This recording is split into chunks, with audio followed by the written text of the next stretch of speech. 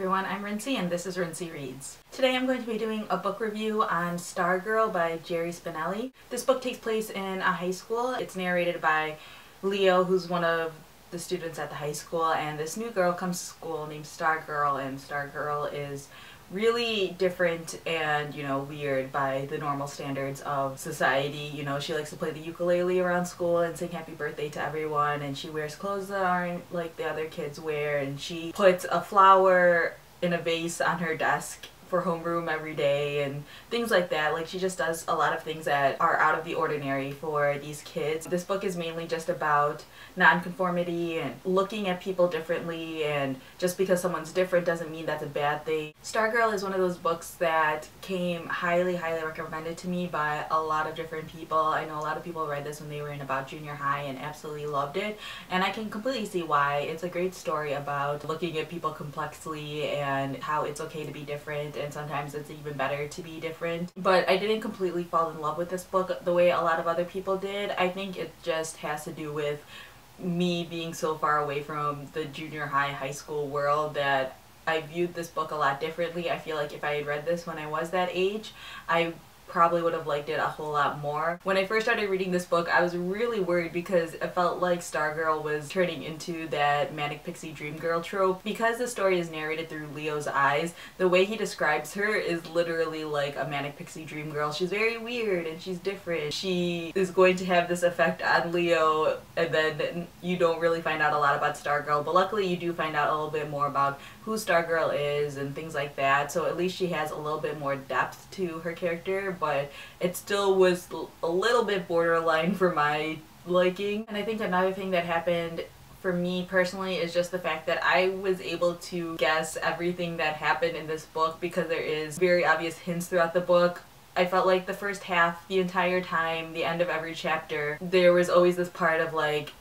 the chapter is about the Stargirl did this really amazing thing, and then the last line of the book would be like, but this wouldn't last forever. And so you're basically able to guess that Stargirl's gonna change and people aren't gonna like her towards the end of the book and all of this stuff, and I felt like just having that at the end of every chapter just made me be like, well, just get to that point already and stop telling me all these weird things that Stargirl did. Another problem I had with this book is just I didn't get Leo really. I mean, I guess he's just a typical teenage boy, but I didn't understand why he claimed to like Stargirl so much but then wouldn't stick up for him in public, but I guess that's just the way high schoolers are, and I kind of forget that sometimes. There were a lot of like little weird things that never made sense to me, like their whole TV show never made a lot of sense because what school would allow a show where they're allowed to bash other students? The way the show was described in the book is they would have someone on and one of the characters is like the host of the show and then they would have a panel of people who could ask questions to that student. And all the questions would always be like really rude questions. And I was reading this and I was like who what administration would allow that? Who why is everyone okay with this show? And just that whole setup just made everything seem really horrible. and it's like why would anyone even want to go on that show if everyone's just gonna make fun of them they say like everyone's okay at the end and they, everyone realizes it's a joke but at the same time I'm like that's a really cruel joke. I don't know if that's just the adult in me speaking but it just never made sense to me. And so when Stargirl went on I was like of course this is gonna end badly. That being said though I really did enjoy Stargirl as a character and I like the ideas that Jerry Spinelli brings up through Stargirl about looking at other people more than looking at yourself. I think that's something that everyone goes through no matter what age you're at but I think a lot of times you know teenagers especially struggle with this idea of oh what do people think about me and oh I need to do these certain things so that way these people don't hate me. Stargirl is sort of the opposite. She's basically just like let me focus on these other people who seem to be ignored and try to bring them some happiness in their life or try to love them a little bit more, which I think is a really great idea that everyone sort of needs in their life. I do recommend it for people if you haven't read it yet. I gave it a 3 out of 5 stars on Goodreads because I liked it but I didn't love it. There's just all those little things that kept